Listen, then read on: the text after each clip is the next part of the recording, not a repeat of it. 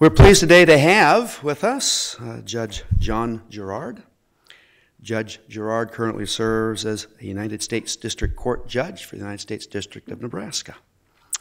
Prior to his service, uh, he, as Judge Gerrard, he was Justice Gerrard. He spent 17 years on the Supreme Court. Uh, Judge Gerrard graduated from Nebraska Wesleyan some years ago. We won't say when. and he went on to earn an MPA at the University of Arizona and took a law degree from the University of the Pacific. And prior to his time on the bench, he was in private practice in Norfolk and also served as the city attorney for Battle Creek. Judge Gerrard, thank you.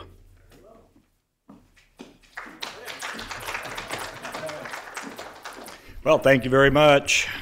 I was also a probation officer in between. So for some of you that are taking uh, criminology uh, 101, I can talk to you uh, about that. I, I, went to Nebraska Wesleyan uh, and graduated back in 1976. I will uh, reveal that. And then I went to the University of Arizona uh, and got a master's degree in public administration and corrections at that time. I was going to be a probation officer and, and was a probation officer up in Norfolk and northeast Nebraska. Did that for a couple years before I went back to, to law school. Um, went to law school out in California and then came back to the uh, Midwest and I practiced law with uh, Dave Domina. It was uh, Domina Gerrard, Koppel, and Stratton back in uh, from 1981 until 1995. And at that time, I was appointed to the Nebraska Supreme Court, and I served there for some 16 and a half years or so. And then I was nominated and confirmed to the United States uh, Federal District Bench um, back in 2012, nominated in 2011, and uh, have been serving since 2012. So I took kind of an unusual path. I, oftentimes you go from the trial court bench to the appellate court bench, and I went from a state appellate court bench uh, back to the trial court bench because I wanted to. Um, I, I, wanted to a be a, a federal judge and uh, B, I missed being in the trial court. The, uh, the lonely halls of the, uh, of the appellate court, I, I had had enough of that for about 16 and a half years. So now I'm back dealing with, with juries and, uh, and lawyers on a day to day basis in the uh, federal system. So uh, thank you for coming in from this beautiful weather uh, over the noon hour. I'll visit with you for, for a little bit.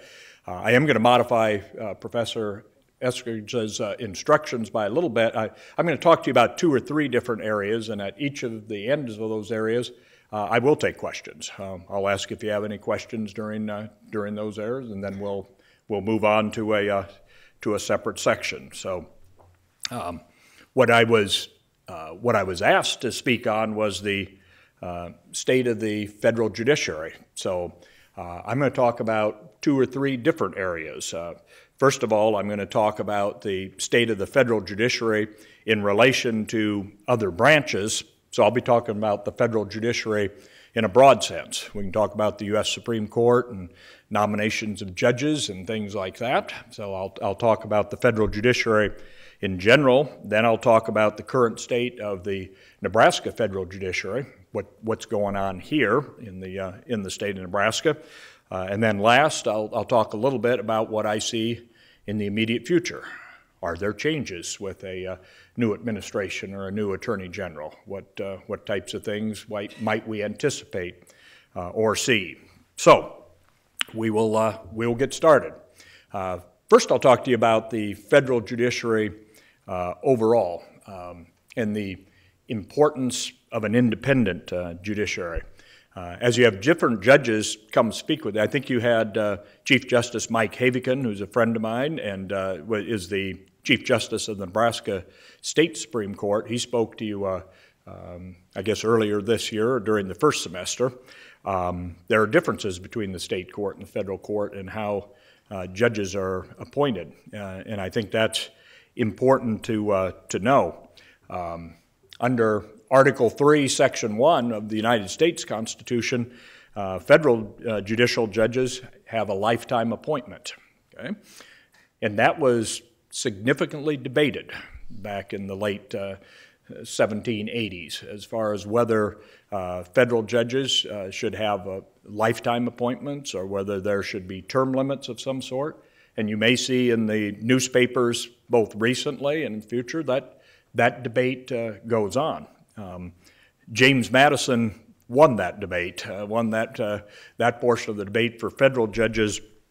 Madison thought it was important for judges to be basically autonomous uh, moral agents. In, in, other words, they should be independent of ideolo- ideology. In other words, it doesn't matter which president appointed you or what your background was or whether you were a, uh, a Democrat or a Republican or an independent or, or anything in between. Uh, when you take the federal bench, uh, you should be an independent agent, uh, essentially. Okay, that's number one. I mean, and, and James Madison felt strongly about that. Um, but secondly, he recognized that judges were human, okay? Uh, and in the state courts, you'll see judges are oftentimes guided.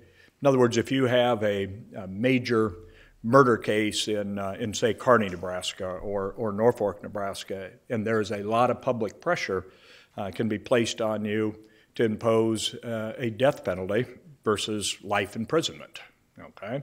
And if you're in the state system and every six years you stand for election or you stand for retention, uh, Madison understood that there could be a great deal of local pressure. So he felt, and ultimately um, the, the founders felt, that it was important for federal judges to be independent of that. Okay? Not only are they independent agents from an ideological standpoint, but um, they should be protected from uh, from threats or pressures of, uh, of local, whether it be the electorate or, um, or legislators or presidents or, or governors. Um, in other words, the independence of the judiciary was very important. Now, we have, in the United States, we have about three different systems, okay? So the federal system, when you're appointed, you're appointed for a lifetime. Uh, and the only way that you can re be removed is by committing a felony for bad behavior, uh, essentially. Um, but you're independent as far as what type of judicial pronouncements that, that you may make. Now, in the state system, you have essentially two different systems, okay? One is what's called the Missouri Plan, and that's what Nebraska has. And in the Missouri Plan, if there's an opening for a judgeship, um, like when I was applying in 1995, um, there are individuals that are, are lawyers, um, or they could be judges that are applying for a state judicial job, okay? And you have to go in front of an independent commission. That's the, that's the Missouri plan. Uh, that made up of eight people, four lay people and four lawyers, uh, four Republicans and four Democrats, okay? Um, or they can be independents. They cannot be of, of one party. But the idea behind that is that's a merit plan. In other words, they will take the applications and they will do live interviews. You make a presentation uh, before them. Uh, in that commission, you have to have at least five votes to get out of that commission. And let's say there's eight or nine people that will apply. Uh, they send forward to the governor those names that are sufficiently qualified for that position, whether it's a district judgeship or Supreme Court judgeship, whatever it may be. Um, so they will send three or four names to the governor, and then the governor makes the appointment from there. So as you can see, it's kind of a combined uh, system. It, it's a merit plan in that you have to go through the commission and get out of the commission first, and then the governor will make the appointment from there.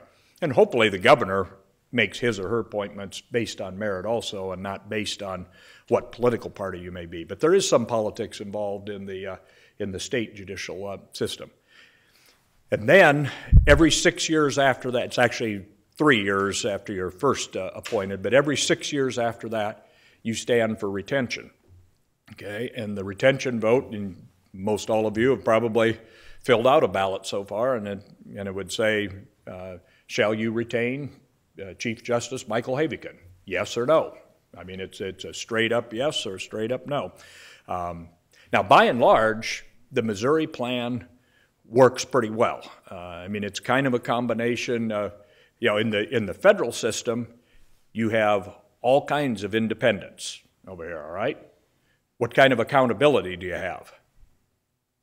Not much. Okay? Once the president appoints you, uh, you better hope you have a good judge because there's not a lot of accountability. Okay. On if you're an elected judge, as many other states have, we'll talk about that in a minute. All right, you have all kinds of accountability because you're elected every four or six years. Okay, but what type of independence do you have? Not a whole lot. I mean, judges would say that they're independent, but there's all kinds of pressure being put on by um, by MAD, for example, you know, Mothers Against Drunk Driving, or um, whether you're pro-life or pro-choice, or um, whether you've imposed the death penalty or not. There's all kinds of pressures that go uh, go about on a, on elected systems. So there you have all kinds of accountability, not much independence. The idea behind the Missouri plan is that you do have a fair amount of independence because of the system that was imposed, and there is some accountability uh, at the same time.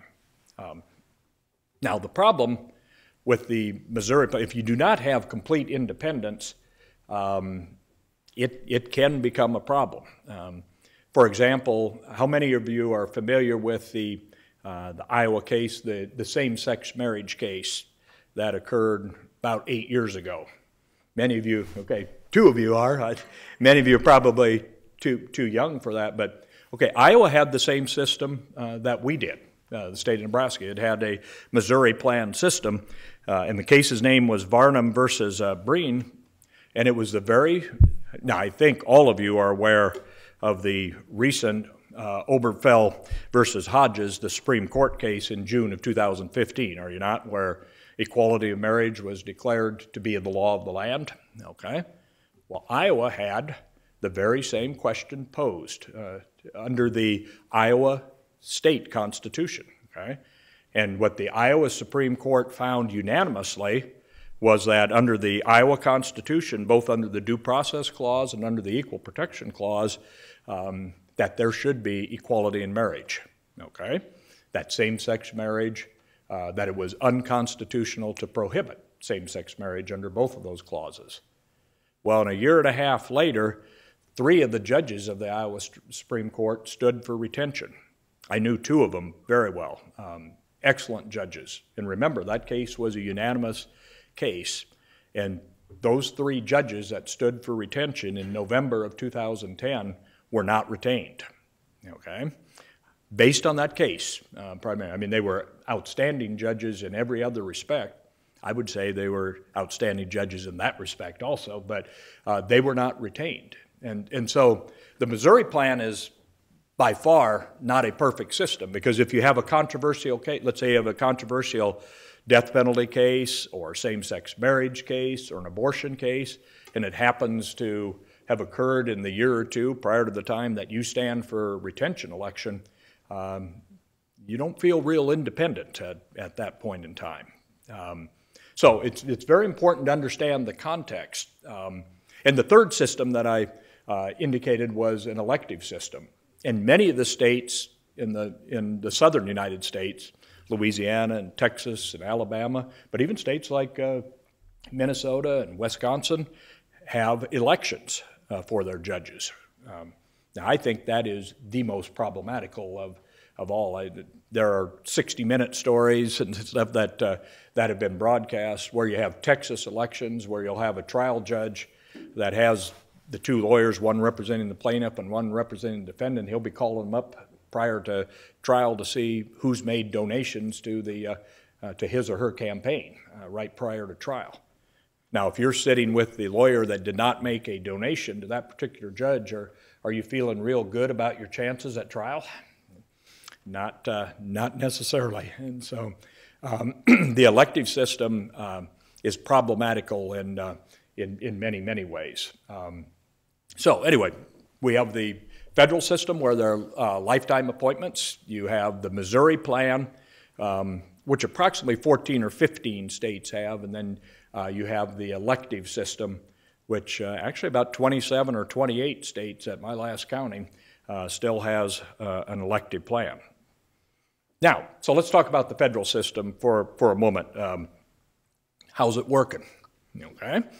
Uh, we have Article 2, Section 2 of the uh, United States Constitution that says the president shall appoint uh, those judges that are members of the United States Supreme Court and all other lower court judges, all right, with the advice and the consent of the Senate, all right? That's all it says. That's called the advice and consent clause. Well, it's a fairly innocuous clause, and what, what the founders uh, meant by that was that the, uh, the president, when, when you win the presidency, to the winner goes the spoils. In, in other words, you're going to nominate judges, not necessarily that are going to think like you or, or be like you, but you have the right to nominate judges um, that that you are comfortable with, that you will interview, that you look at their judicial past, and that you are comfortable appointing them. And the Senate then has advice and consent function. Okay? And in the old days, and when I talk about the old days, I'm only talking about 10 years ago or so, eight, eight to 10 years ago.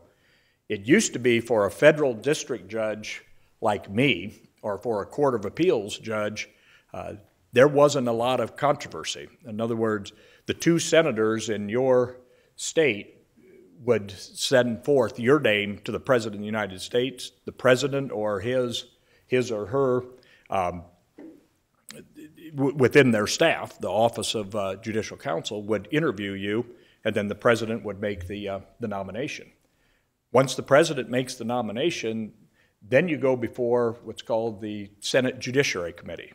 Okay? The Senate Judiciary Committee is made up of 16 senators, um, and it's roughly um, uh, 11 senators from, well, it's nine senators from one side, seven senators from, from the other side, depending who has the majority party. Okay? Um, but in the past, it didn't make a lot of difference who was in the majority party.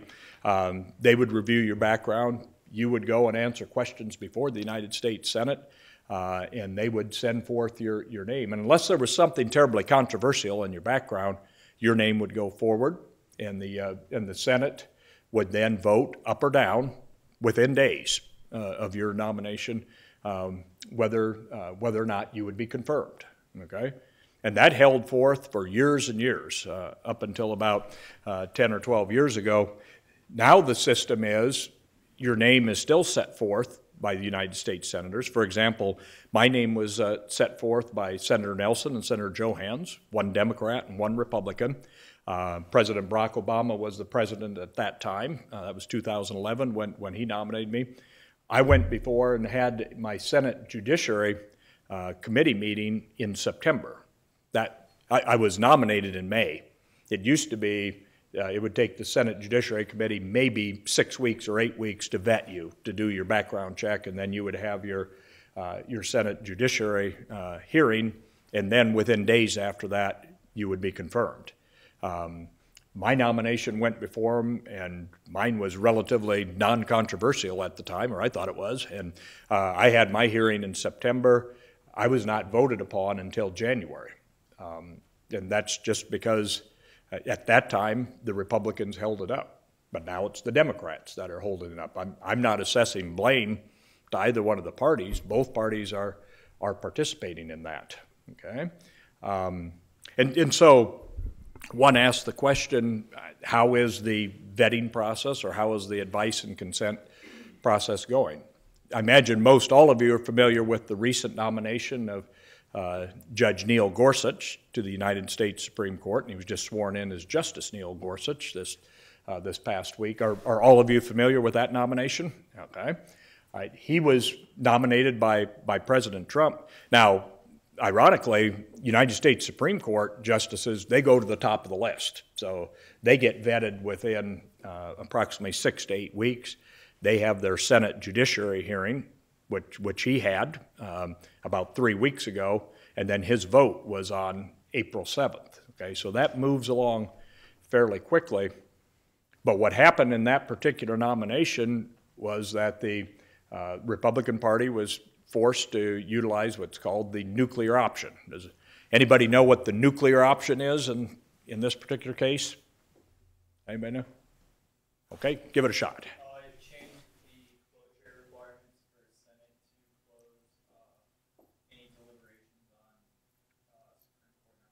Exactly. It used to be that um, one of the parties could filibuster, could impose cloture, and it would take 60 votes to move that nomination forward. Now, for a United States Supreme Court nominee, do you think that's a good idea? Anybody? It may be, it may not. I, am just interested in your thought. What do you think? Do you think, do you think having a filibuster opportunity is a good idea for, uh, for a United States Supreme Court nominee?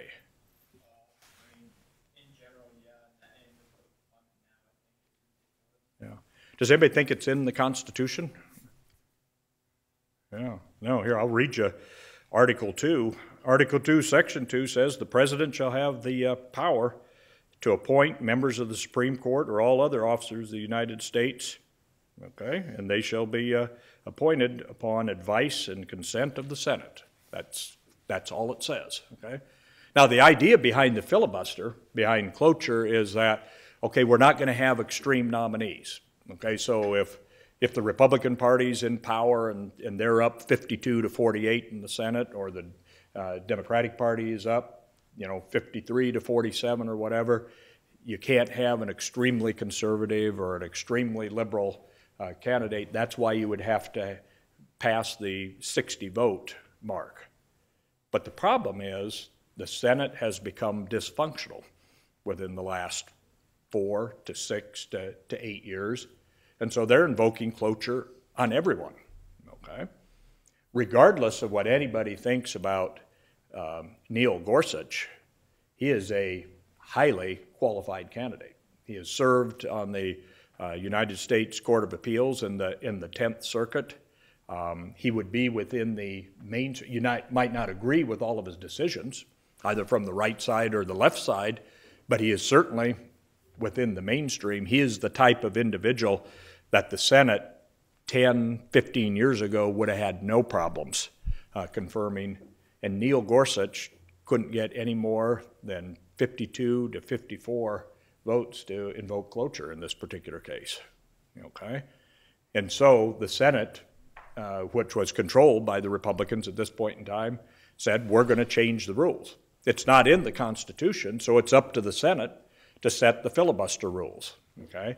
And what the Senate had done, I think it was two years ago now, they invoked the nuclear option as far as Court of Appeals judges and district court judges, because at that time the Republicans were holding up the Democrats, okay?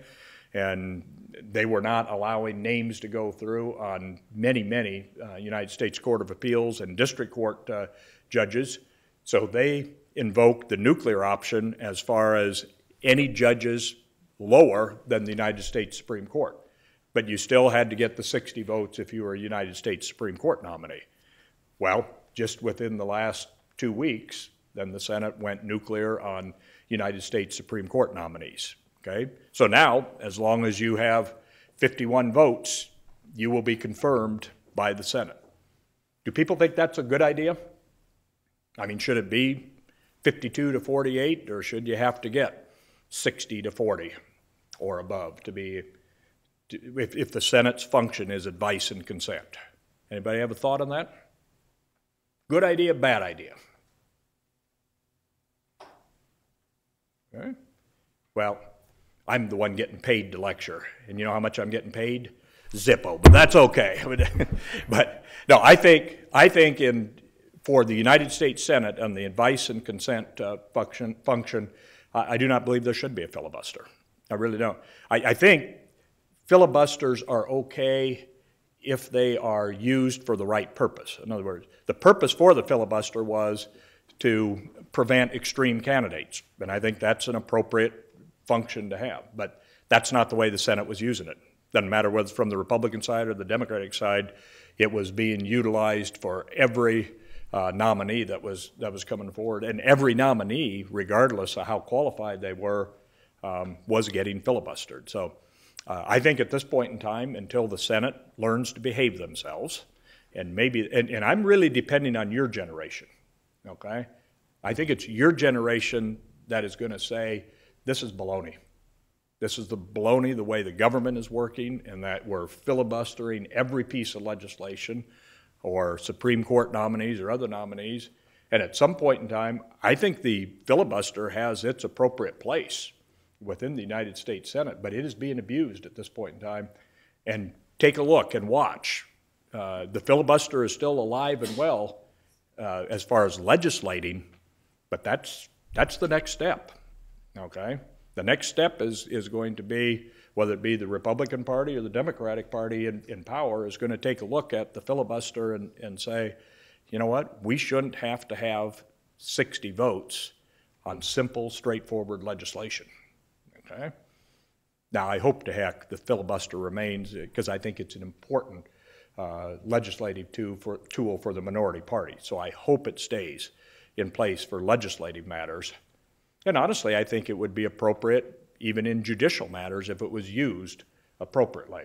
But that, that's the next step that you're going to have to take a look at. It. So that's, that's my two cents worth as far as how it's working. So the, the Senate has gone nuclear on all uh, United States federal judgeship uh, nominees. And with the way the Senate is working at this point in time, I think that's proper. I, I think it's appropriate. Okay? Now, I want to talk to you a little bit about uh, the Nebraska federal judiciary, but before I do that, anybody have any questions about uh, the, the state of the federal judiciary overall? And I'll answer some questions about the United States Supreme Court later when we have a question and answer period. All right? Now, on the uh, state of the federal judiciary locally, uh, I'm not going to bore you with a whole bunch of statistics. I'm, I'm just going to tell you a little bit.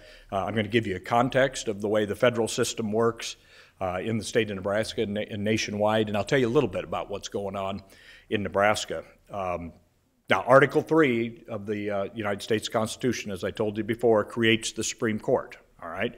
Uh, and the Supreme Court, I'm just going to tell you about the three levels very briefly. The Supreme Court uh, actually does have original trial uh, jurisdiction in some cases, and that's controversies between states, okay? Some of you may be familiar with Kansas versus Nebraska when we're fighting over the Republican River and what, which irrigators get to use water from the Republican River. The United States Supreme Court appoints a master uh, to hear the facts in that case, and they actually are a trial court in cases like that. But by and large, the uh, Supreme Court, which you're all familiar with, has appellate jurisdiction of all other cases uh, within the jurisdiction created by Article 3. Uh, now, below the Supreme Court are 12 geographical units, and they're called the Circuit Courts of Appeal. Okay? There's 11 of them primarily. We're in the Eighth Circuit. Okay, and the Eighth Circuit is made up of the states of North Dakota, South Dakota, Nebraska, Minnesota, Iowa, Missouri, and Arkansas. We are the uh, Eighth Circuit. So those federal district courts that are within that circuit, uh, then if you appeal a case within the Eighth Circuit, um, you will do it, it's either in St. Louis or St. Paul primarily, or the courthouses that uh, you'll argue your case. Okay? And there are 10 other uh, circuits. So the Ninth Circuit is in uh, California and, and Hawaii and Washington, Oregon, out on the out on the West Coast. And there are 11 circuit courts, and then there's the Circuit Court of the uh, District of Columbia. Uh, and so those are the courts that will hear your appeals from the federal district court.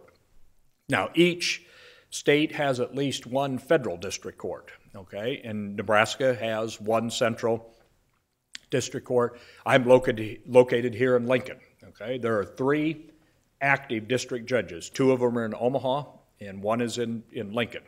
And my courthouse is straight south of you, about three and a half blocks. If you go to uh, to 15th or uh, or 16th and O, uh, up on the fifth uh, fifth floor, that's where my court uh, is.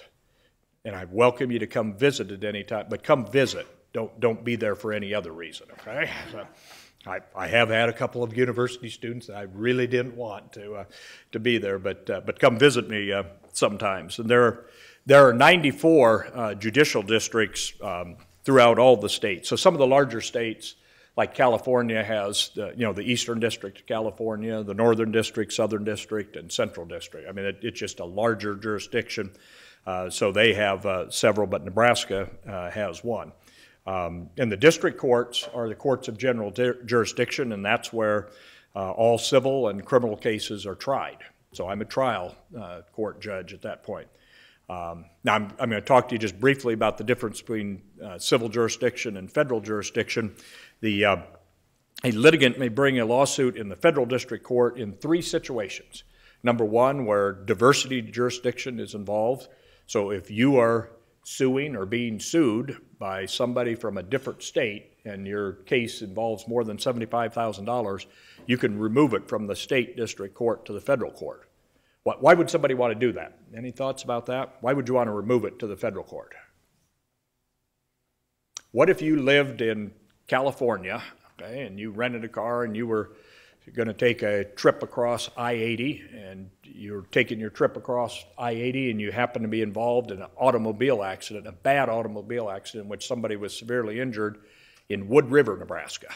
Okay, everybody know where Wood River is out on the on the interstate. Okay, um, it's over by Grand Island. It's a little bit west of Grand Island. Okay, now if you were from California, would you want to go in to the district court of Hall County and have your case tried to local jurors there in Wood River or Grand Island? Uh-uh, no. So that's why that's why there's diversity jurisdiction. Okay, so if you are either suing or being sued, and it's against somebody that's local, and you don't want to you don't want to go into Saline County District Court. If you live in Nevada or or California, you can remove it to the to the federal district court. So, so we have a lot of those cases, okay, of either corporations or parties that are from two different states. Okay, that's uh, that's diversity jurisdiction, uh, and then also uh, we have cases where the federal question jurisdiction exists. Let's say, for example, under the ADA, Americans with Disabilities Act. Okay, if it's an act that created, it's a federal, federally created uh, law, then you would bring that suit in the uh, in the federal district court, uh, or where the United States is a party okay? If you're suing the United States on, on the Clean Water Act or whatever the case may be, uh, then, then you would come to the, uh, to the federal courts, all right? Now, uh, Nebraska is a busy district, okay? We, uh, we have the eighth highest per judge criminal felony caseload uh, in the country. Uh, our caseload exceeds those districts that include the metropolitan areas of like Chicago, Detroit, Los Angeles or New York City as, as far as a per judge uh, caseload. The uh, average federal judge um, throughout the country handles about 104 criminal cases per year. In Nebraska, we each handle um, in excess of 190. Last year it was 191 uh, federal criminal cases.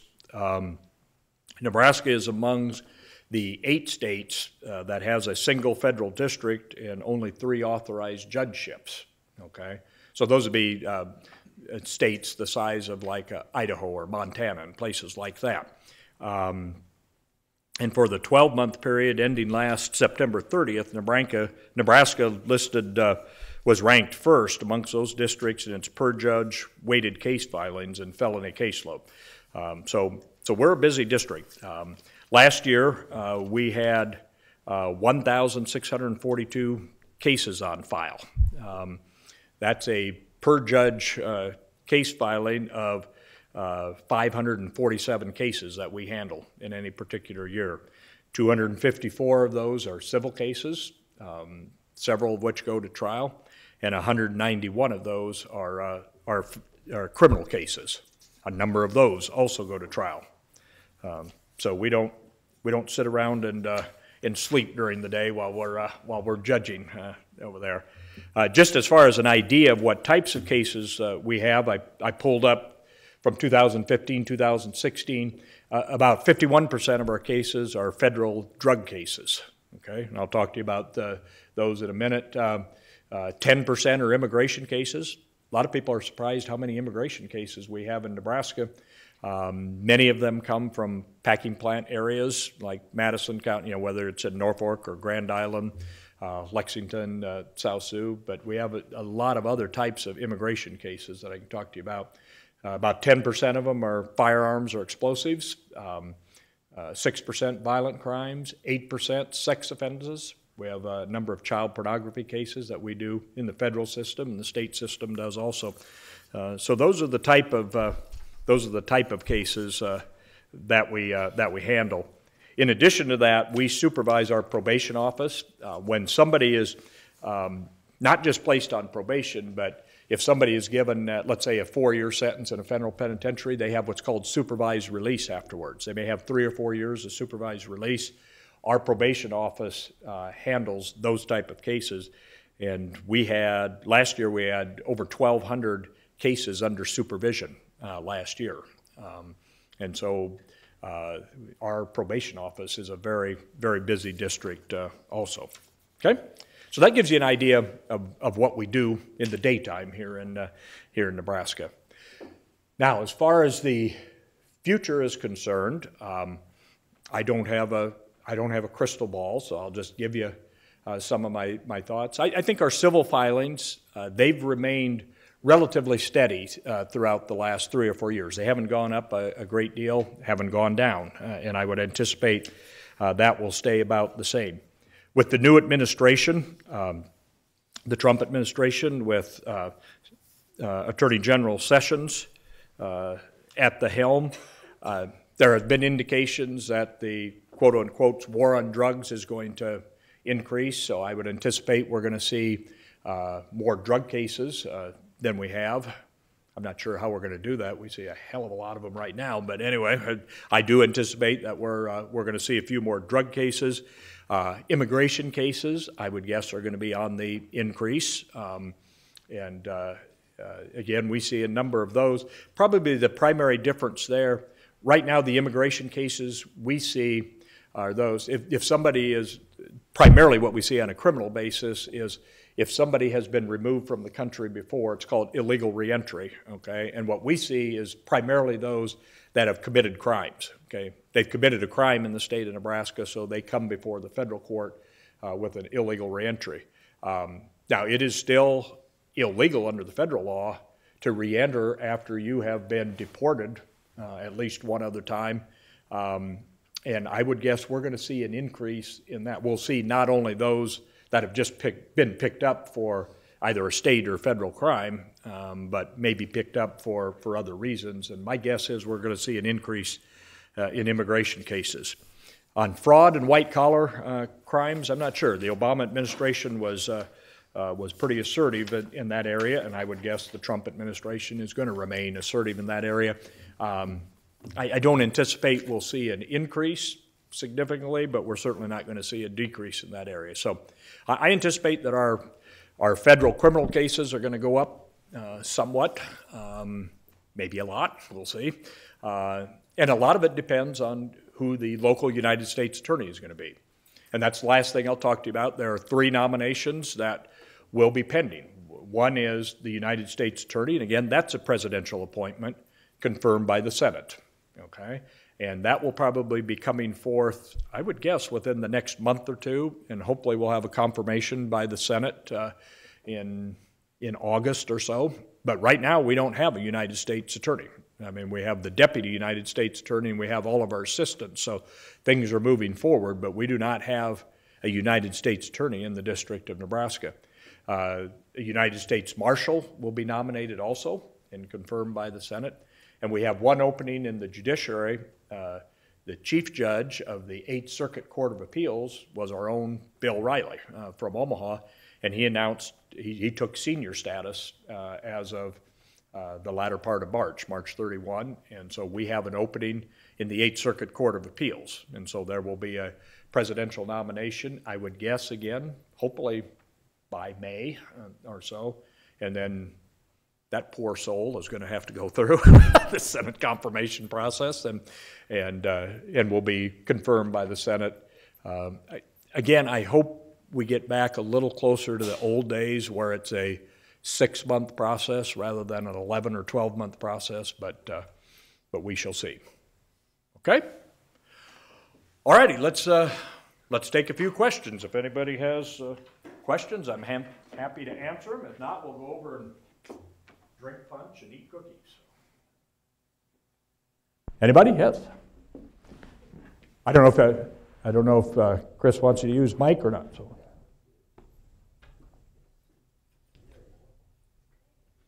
Thank you.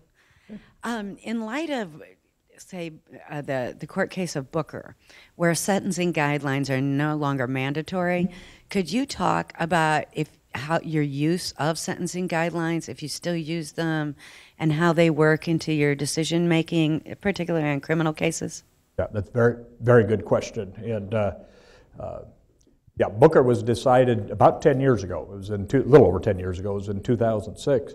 The federal sentencing guidelines came in in 1987. Uh, and, the, and the guidelines were meant at that time and after Booker are designed, they are to be advisory in nature, okay? So drug crimes, for example, if, if you had a certain quantity, if you brought in a significant, if you were selling a significant amount of, of drugs, if you had a certain prior criminal history, you would, you would get points for all of that, okay? And so in each case, let's say it's a drug case that, that you're asked about, I will have a guideline range of, let's say I would have a case that says uh, because of the amount of drugs that you brought in, your prior criminal history, et cetera, your range is 87 to 108 months.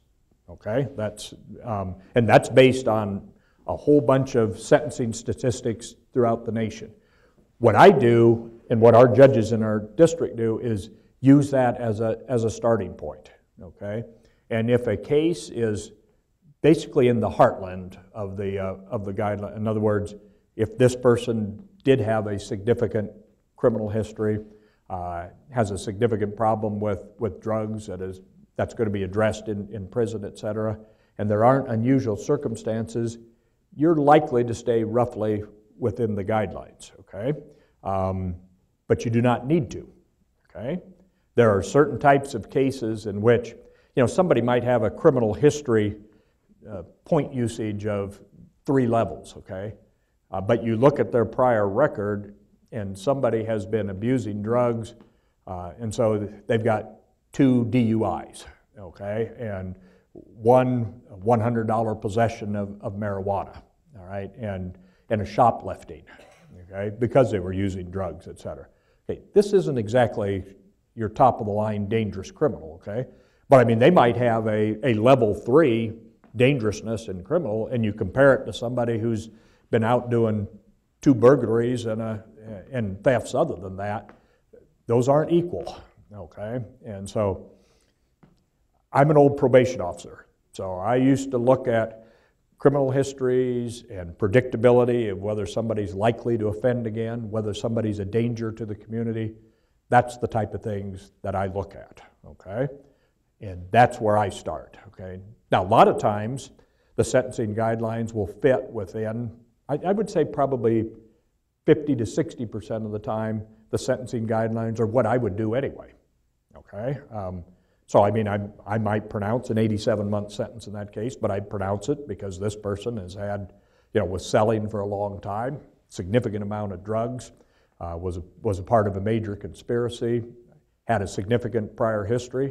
Without any type of guidelines, I might look at that and say that's 87 or 90 months or 96 months or whatever the case may be. It would fit within the guidelines. But now what I can do is vary downward or upward, okay, in a, in a case if the, if the sentence doesn't make sense within the guidelines, okay? And so it gives sentencing judges uh, a, a lot more leeway than it, than it used to. But the guidelines still serve a purpose. I mean, the reason the guidelines were placed in is you'd have federal drug offenders, and, and somebody would have a drug offense with the very same criminal history, and they would come from the Eastern District of New York, and you know, and they all talk to each other in federal prison, and uh, this guy gets two years, and somebody we sentence here in Nebraska or Texas gets eight years, okay, for the very same crime, the very same offense, have the same prior record, and, and Congress said at some point in time, these type of disparities we're not going to put up with okay? So we're going to have at least guidelines that, that you should follow. And initially, what happened is those guidelines were just rigid. I mean, you, you could not sentence outside of them, either upwards or downward, and that didn't make any sense. I mean, there were all kinds of cases in, in, in which it didn't make sense. Um, so, uh, guidelines are, are just that. They are guidelines, they're advisory, um, but I use them just in the, I always match it up with with my own criteria. And that is what, what type of offense was it? What type of person was this? Both good and bad. Okay, what type of criminal history did they have? what's the predictability of, of future crime and are they danger to, to society? I had a case that was fairly well publicized, um, a couple of them actually. Um, you know, that's the issue I have with mandatory minimums also. Um, I had a case that I tried two years ago over in, in Omaha, uh, and it was a young lady that was the tail end of a conspiracy. A lot of these conspiracy cases are horrendous. We, we had a, a conspiracy that came out of Mexico through California to Nebraska, and they were selling tons of meth, okay? And there were three people at the top of the conspiracy okay, that received significant sentences, okay? 25 to 30 year sentences, and, and they should have. I mean, they, they were selling lots of drugs to lots of people in, in bad circumstances, et cetera. Then down on the low end of the conspiracy, I ended up trying a case of the person that was at the hind end, and what she did was she rented her house to somebody that, that was a low end mule in this drug conspiracy, and on two occasions she had kept books for that person. So, did she know what was going on? Yeah, a little bit. I mean, she had no idea what this what the main portion of the conspiracy was. But did she know there were, there were drugs being sold up in northeast Nebraska? Yes. And did she participate? Yes, a little bit. So she was found guilty by a, uh, by a jury um, of conspiracy, and it was more than the 10 year mandatory minimum. I mean, she was caught in this conspiracy, and she was the tail end of it. So she was found guilty of the offense, but because she was part of the conspiracy, she was held to the entire drug amount, the quantity amount, um, and it was a 10 year mandatory minimum. And it's a sentence like that that is just ridiculous. I mean, it takes away the discretion of, of federal trial judges. Now, did she know what was going on? Was she part of that conspiracy in selling drugs? Yes. And should have she gone to prison? Yes, probably for whatever period of time, maybe 18 months, maybe two years, or whatever the case would, uh, would be. But that is not a 10 year mandatory minimum. So she left a five year old and a three year old at home. She was one semester away from graduating as a nurse up in uh, northeast Nebraska, and she is now serving 10 years in a federal prison. Um, is that justice? Let, us talk to our senators someday, okay? Right, thank you. As the rest of the group is thinking, I have a simple one for you, but help us out. How many senior judges are there in the state of Nebraska and the district? And explain to us a little bit what a senior judge is. Yeah, there are two senior judges. Uh, one is uh, Judge Kopf, who's here in uh, Lincoln. The other one is Judge, no, there are three senior judges Judge Bataillon and Judge Strom over in Omaha. Um, and a senior judge is once, once you've reached retirement age as a, it, it's called the rule of 80. If you've served, if you're at least age 65 and have served 15 years in the federal judiciary, uh, then you can take what's called senior status. And if you take uh, more than a 25% caseload, and many of them take, our senior judges take anywhere from an 80% to 100% uh, caseload. Um, but you can stay on the judiciary with, uh, with full staff and and it's a lifetime pay anyway, so it's really kind of a volunteer position. I mean, you're going to be paid whatever during your during your lifetime, but our senior judges have been very good about coming out, coming back, and helping with both the criminal and the civil caseload. But once you get senior status, you have more freedom. You do not have to take a 100% caseload. You know, you could take a 50% caseload, say, for example, or you could take only civil cases and not criminal cases. But um, but the senior system is a, a, very good system in the federal judiciary. I mean, we rely upon our senior judges to help us out with our caseload.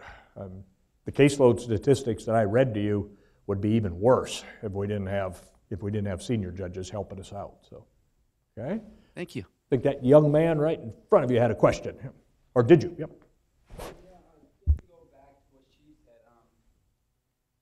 Uh, do you consider prison overcrowding when you do sentence guidelines? Yeah, I do not. Um, I, I, mean, I do to the extent you always consider what are the alternatives to sentencing. I, I mean, I don't start out in a case and say everybody in the world has to go to prison. Okay, I mean, I look at I look at all kinds of sentencing alternatives, okay? But there are a number of individuals, because of the type of crime they committed, because of their background, because of dangerousness to society, um, you know, a prison sentence is imposed. And if I determine that a prison sentence should be imposed in a particular case, um, I- don't consider prison overcrowding, okay?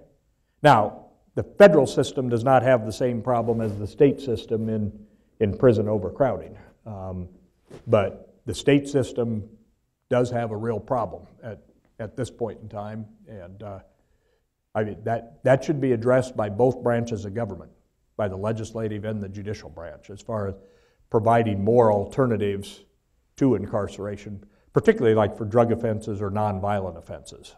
I, you know, is there over incarceration in the United States? Yes. Okay, particularly for those type of offenses. But, but that's a legislative and a judicial solution that must be handled together. Okay. All righty. Yep. Yes. Uh, sir, do you think that Attorney General Sessions' approach to the war on drugs works? I don't know. I don't know what his approach Or is yet. the Yeah. higher, higher sentencing, um, cracking down on marijuana more, stuff like that? Yeah. What do you think? Has, has it worked in the last uh, 15 or 20 years? Yeah. It's, uh, yeah, I, I think there's a combination of things that, that has to be done, and it, and it has to be done legislatively. I mean, what the attorney, the attorney general can only do so much. I mean, he or she is the prosecutor, okay? And so that, that's what their role or function is. I, I think legislatively, and, and that's been a debate for how many years, Chris? 30, 30, 40 years as far as what, what is the right approach to, to the war on drugs. I mean, we've tried incarceration to the max. I can tell you that that doesn't do it. Um, you know, we've tried both federal and state drug programs. Uh, those are helpful, but those are not the ultimate answer. Um, I honestly think that there is, that, that there's some combination there. The, the problem is we over-categorize, okay? So, I mean, if we have the, if we have the war on drug, we end up doing, you know, 10-year mandatory minimums, no matter what, what the case is. Um, Or we have judicial guidelines in certain offenses that are just horrendous, you know, and, uh, and that isn't particularly the case. By the same token, there are many states that do very little or nothing as far as drug rehab. And um, at least the federal system, we have a program, it's a, it's a, a 500 hour intensive, it takes a, a number of months, it's called RDAP. Um, and, and that has really been helpful and really been successful in people coming out of prison and not reoffending. And, and that's what you want. I mean, even if you impose a sentence, whatever it is, I mean, you want them not to reoffend when, when they get out. So if, uh, if drugs are the issue, then you treat drugs. Oftentimes we have mental health. We have co-occurring. We have mental health and uh, drug addiction. Um, and if you don't address them both, you've got a problem. So, so I would say it's a combination of the, of the two. But finding that sweet spot, yowza. okay. Yes, yeah.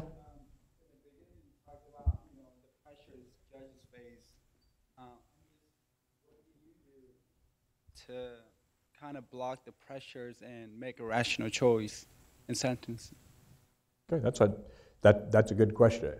I look at, I look at every individual case as an individual. Okay, I started doing that when I was a probation officer and on through.